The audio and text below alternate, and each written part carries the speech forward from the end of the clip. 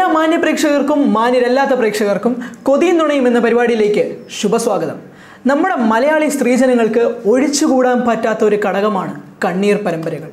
കള്ളുഷാപ്പുകൾ ഇന്ന് തുറക്കുമോ? മദ്യശാലകൾ വീണ്ടും തുറക്കുമോ? എന്നുള്ള ആശങ്കയിൽ നമ്മുടെ അച്ഛന്മാരും അപ്പൂപ്പന്മാരും ചേട്ടന്മാരും അനിയന്മാരും എല്ലാം നടക്കുമ്പോഴും നമ്മുടെ സ്ത്രീജനങ്ങളെക്കുറിച്ച് നമ്മൾ ഒരു നിമിഷമെങ്കിലും ആലോചിച്ചിട്ടുണ്ടോ? ഒത്തിരി ചോദ്യങ്ങൾക്ക് മുൾമുനയിൽ നിർത്തിക്കൊണ്ട് അവരെ നിർത്തിപ്പോയ ഒരുപാട് സീരിയലുകളുണ്ട്. പലരിൽ നിന്നും കാശ് കടം വാങ്ങിയും വാതുവെപ്പും ചൂതുവെച്ചും വരെ എന്തൊക്കെ സീരിയലിൽ ഇനി ബാക്കി സംഭവിക്കും എന്ന് പറഞ്ഞ് നടക്കുന്ന നമ്മുടെ അമ്മമാരും അമ്മൂമ്മമാരെ കുറിച്ചും നിങ്ങൾ ചിന്തിച്ചിട്ടുണ്ടോ? പോസ്റ്റ്മോർട്ടം മോർച്ചറിയിൽ നടത്തുമോ? കുഴിച്ചുമൂടിയ ശവശരീരം പട്ടി തോണ്ടി പുറത്തെടുക്കുമോ? തുടങ്ങിയ ചോദ്യങ്ങൾക്ക് ഇവരൊക്കെ വെച്ചിരിക്കുന്ന മറുപടികൾക്ക് കാത്തിരുന്നിട്ട് ഇന്നേക്ക് ഒരു മാസം തയ്യാറായി. പുതിയ സീരിയലുകൾ വരാത്തത് കൊണ്ട് കണ്ണീരാഴുകയാണ് നമ്മുടെ അമ്മമാർ. രാവിലെ മുതൽ വൈകുന്നേരം വരെ കഷ്ടപ്പെട്ട് ജോലി ചെയ്തു വരുന്ന ഇവർക്ക് ആകെ കൂടി ഉണ്ടായിരുന്ന ആശ്വാസം ആറ് മുതൽ പത്ത് മണിവരെ അരങ്ങേറി വരുന്ന പരമ്പരകളായിരുന്നു. എന്നാൽ അതിപ്പോൾ നഷ്ടമായിരിക്കുകയാണ്. അവരെക്കുറിച്ച് അവരുടെ മനസ്സിനെക്കുറിച്ച് നിങ്ങൾ ഒരിക്കലെങ്കിലും ചിന്തിച്ചിട്ടുണ്ടോ? എന്ത് പറ്റി ഇങ്ങനെ വിഷമിച്ചിരിക്കാനെന്ന് ഒരു വാക്ക് ഒരു നോക്ക് നിങ്ങൾ ആരെങ്കിലും ചോദിച്ചിട്ടുണ്ടോ? ഒരു സീരിയലിന്റെ കഥ പറയുമ്പോഴേക്കും നിങ്ങൾക്ക് മനസ്സിലാവും അവർക്ക് എന്തുമാത്രം വിഷമങ്ങളാണ് ഇപ്പോൾ ഈ ഘട്ടത്തിൽ പൊയ്ക്കൊണ്ടിരിക്കുന്നതെന്ന്. ഭയങ്കര ധനികനായ ഒരു വീട്ടിലെ ഏക മകനാണ് നമ്മുടെ സൂരജ് എന്ന് പറയുന്ന നമ്മുടെ ചെറുപ്പക്കാരൻ. ജസ്റ്റ് ഒന്ന് സങ്കല്പിച്ചെടുത്താൽ മതി. സൂരജിന് അനഘ എന്ന പെൺകുട്ടിയുമായി അഞ്ച് വർഷം പ്രണയമായിരുന്നു. ആ പ്രണയത്തിൽ അവർ ഒരുപാട് സ്വപ്നങ്ങൾ പൂത്തിരുന്നു. ഒരുപാട് സ്വപ്നങ്ങൾ അവർ കണ്ടിരുന്നു. എന്നാൽ സൂരജ് വീട്ടുകാരോട് പറഞ്ഞിരുന്നപ്പോൾ സൂരജിന്റെ വീട്ടുകാർ പാടെ എതിർത്തു. അനഘയുടെ വീട്ടുകാരും അനഘ സാമ്പത്തിക ശേഷിയുള്ള ഒരു കുടുംബത്തിലല്ല എന്നും പറഞ്ഞ് വീട്ടുകാർ സൂരജിനെ വേറൊരു കല്യാണം കഴിപ്പിച്ചു. എന്നാൽ അനഘയ്ക്കും സൂരജിനും അവരുടെ പ്രണയം വിട്ടുപിരിയാൻ കഴിയുമോ? കഴിയില്ല.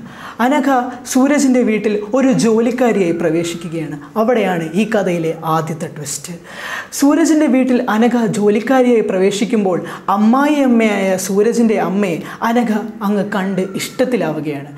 ഈ അമ്മായി അമ്മയ്ക്ക് ഒരു പ്രത്യേകത കാണും.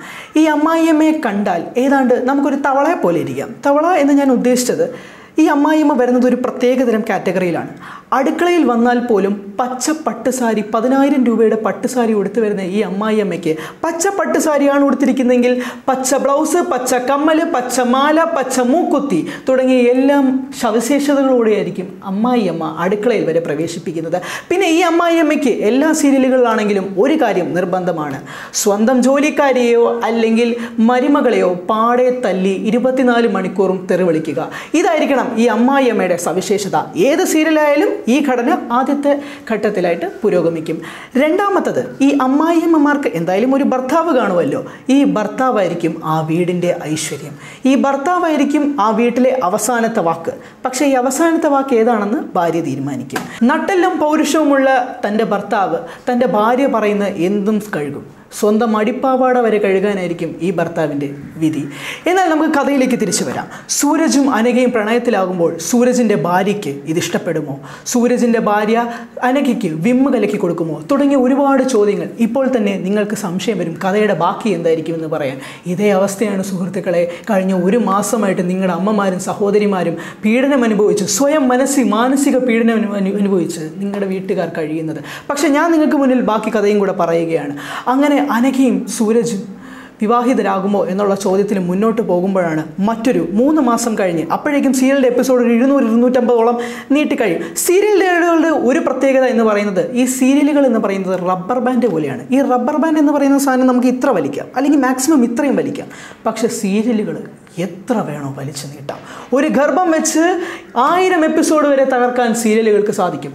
എന്നാൽ മൂന്ന് മാസത്തെ ഗർഭത്തിന് ശേഷം സൂരജിന്റെ വീട്ടുകാർ അനഘയോട് ചോദിക്കുകയാണ് അനഘെ നിനക്ക് എങ്ങനെയാണ് ഈ ഗർഭം കിട്ടിയത്? അപ്പോഴാണ് അനഘ ചൂണ്ടിക്കാണിക്കുന്നത് സൂരജിന്റെ അച്ഛൻ ഒപ്പിച്ച പണിയാണിതെന്ന്. എന്നാൽ സൂരജിന്റെ അച്ഛന്റെ ഗർഭത്തിന് സൂരജ് ഉത്തരവാദിയാകുമോ എന്ന ചോദ്യത്തിന് സൂരജിന്റെ അമ്മ പറഞ്ഞൊരു മറുപടിയുണ്ട്. ഒരിക്കലുമില്ല. ഞാൻ എന്റെ ഭർത്താവിനെ ഒരിക്കലും വിശ്വസിക്കാതിരിക്കില്ല.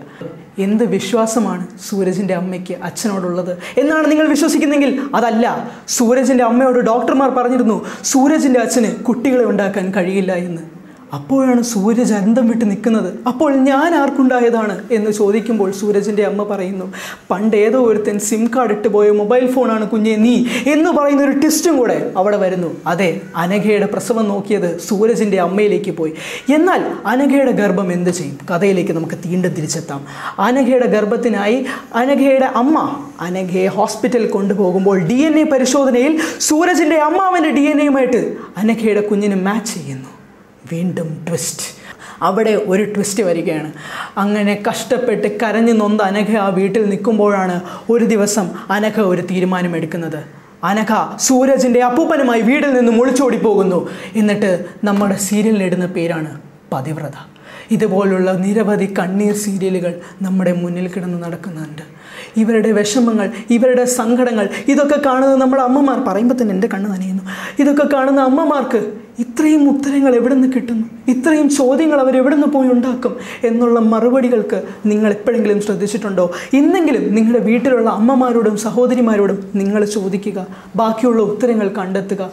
അപ്പോൾ മനസ്സിലാവും അവർ അവരുടെ ഉള്ളിൽ കിടന്ന് കരയുന്ന കണ്ണീരുകളുടെയും പ്രകടിപ്പിക്കാത്ത വിഷമങ്ങളും. നമ്മുടെ കള്ളും കഞ്ചാവും കിട്ടാത്ത ചേട്ടന്മാരെ പോലെയും അച്ഛന്മാരെയും പോലെയാണ് വീട്ടിലിരിക്കുന്നവർക്ക് സീരിയൽ കിട്ടാതെ. അതുകൊണ്ട് തന്നെ വൈകുന്നേരം സായാഹ്നങ്ങളിൽ റിമോട്ടിനായി വീട്ടുകാർ തമ്മിൽ അടിയുണ്ടാക്കുന്നത് നമ്മൾ ഇന്നും ഇന്നലെയും കണ്ടു തുടങ്ങിയതല്ല. ഇത്തരം നല്ല നല്ല കഥകൾ പ്രോത്സാഹിപ്പിക്കുന്ന നമ്മുടെ കണ്ണീർ സീരിയലുകൾ വേണമോ വേണ്ടയോ എന്ന് നിങ്ങൾക്ക് തന്നെ തീരുമാനിക്കാം. കുടുംബത്തെ ശാന്തിയും സമാധാനവും തൊട്ട് തീണ്ടണമെന്ന് നിങ്ങൾക്ക് തന്നെ തീരുമാനിക്കാം. സന്ധ്യാസമയങ്ങളിൽ ഈ കണ്ണീർ പരമ്പരകൾ കാണണ്ട എന്നുള്ള ശരിയായ തീരുമാനം നിങ്ങൾ എടുക്കും എന്ന പ്രതീക്ഷയോടെ ഇന്നത്തെ കൊതിയും നുണയും നമ്മൾ അങ്ങോട്ട് മടക്കുന്നു